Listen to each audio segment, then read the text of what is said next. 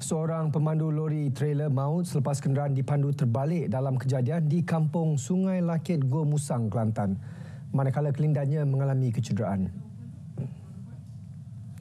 Ketua Balai Bomba dan Penyelamat Gua Musang, penolong kanan penguasa bomba Nur Azizi Cik Noh berkata, mangsa Muhammad Faiz Muhammad Tanmizi 27 tahun tersepit di ruang pemandu.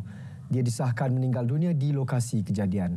Lori membawa muatan besi buruk dipercayai terbalik di selekoh tajam mengakibatkan ia terseret lebih 50 meter ke bahu jalan arah bertentangan. Bomba terpaksa menggunakan kren dan jentolak untuk proses mengeluarkan mangsa tersepit. Mangsa yang cedera dirawat di Hospital Sultan Ismail Petra, Kuala Krai.